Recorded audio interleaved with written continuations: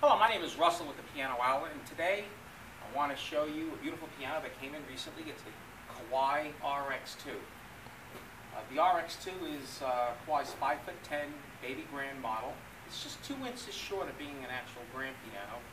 It's probably the most popular model. If you know anything about uh, Kawai's product line, they had a piano very similar to it uh, called the KG2. The KG2 was produced in different names, it's probably since, believe it or not, the 1930s. And then in uh, sometime in the mid 90s, they just renamed it RX2. And they added a couple of little things to it, but really the RX2 back then was really just a KG2. Uh, and then in early 2000, they redesigned the RX2 to this current version right here. And how you can tell, if the camera will come up over here, um, the uh, KG2 RX2 has more square holes in here. So anytime that you see an RX2 with these round sound holes, you know that it's a current version that's being produced today, and a better, and a better piano as well. Uh, this particular piano came out of a private home. Uh, we just got it, and it really just needs some detailing. Uh, one of the, some of the things that we like to do uh, right off the bat uh, is you know, polish the pins, uh, clean the soundboard, clean the duplexes, hitch pins, all the screws around the, the plate. But we actually just unpacked this piano, so this is exactly the way that it arrived from its previous owner. So I'm going to play it a little bit now. It is a little bit out of tune.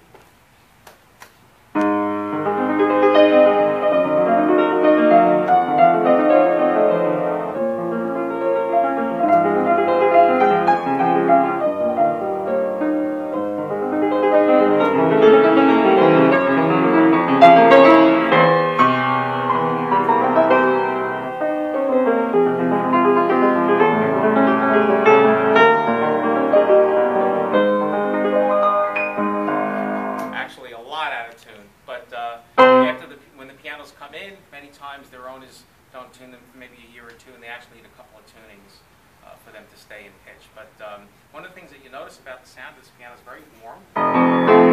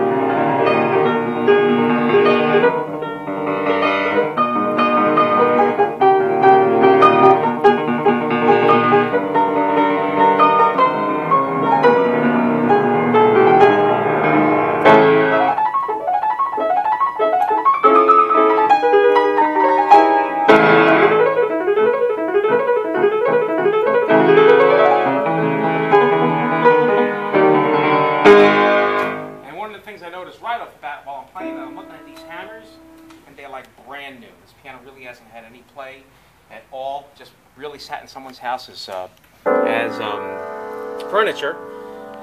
Key bushings are tight. If you look over here, there's no play back and forth that you'll see with a piano with a lot of use. Really, it's uh, the piano's a winner. It uh, has a slow close fall board, so it won't slam down.